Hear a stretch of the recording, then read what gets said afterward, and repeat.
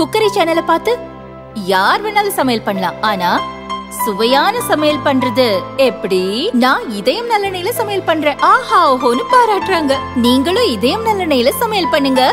பாராட்ட வாங்குங்க. தினம் தோறும் வாங்குவே இதயம் இதயம். மகாராஷ்டிரா மற்றும் ஜார்க்கண்ட் மாநில சட்டசபைக்கு தேர்தல் நடைபெற்று முடிந்துள்ளன. தேர்தலுக்கு பிந்தைய கருத்து கணிப்புகள் வெளியாகியுள்ளன. வாக்காளர்கள் எப்படி ஓட்டு போட்டனர் என்பதை கணக்கிட்டு பல்வேறு நிறுவனங்கள் கருத்து கணிப்புகளை வெளியிட்டுள்ளன. இந்த கருத்து கணிப்புகளின்படி மகாராஷ்டிரா ஜார்க்கண்ட் இரண்டு மாநிலங்களிலும் பாஜகவுக்கு ஆட்சி அமைக்கும் வாய்ப்புகள் உள்ளதாக கூறப்பட்டுள்ளது.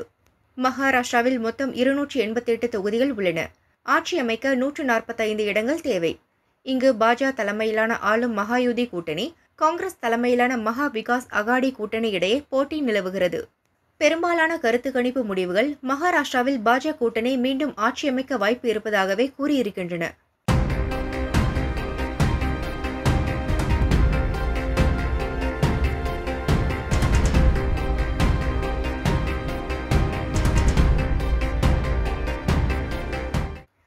ஜார்க்கண்ட் மாநிலத்தில் மொத்தம் எண்பத்தி ஒரு தொகுதிகள் உள்ளன.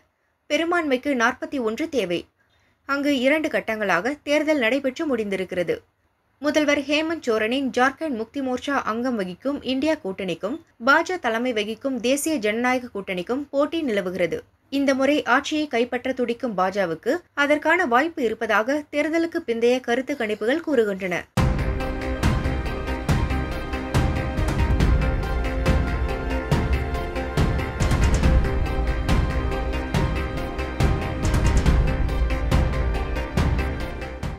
மகாராஷ்டிரா ஜார்க்கண்டில் பதிவான ஓட்டுகள் இருபத்தி மூன்றாம் தேதி எண்ணப்பட்டு ரிசல்ட் அறிவிக்கப்படும்.